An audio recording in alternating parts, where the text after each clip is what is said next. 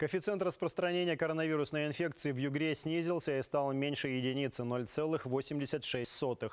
Число новых пациентов с ковидом также уменьшается. Сегодня зарегистрировали 3273 вновь заболевших. В Сургуте 889, в Ханты-Мансийске 346, в Нефтьюганске 331 новый случай. На момент выявления пневмонию обнаружили у 90 человек. Остальные демонстрируют симптомы ОРВИ или вообще переносят заболевание без симптомов. Состояние 104 пациентов, находящихся на лечении в ковидных госпиталях, медики оценивают как тяжелое. 57 человек подключены к аппаратам ИВЛ. Вместе с тем, за минувшие сутки от коронавируса вылечились 2217 пациентов.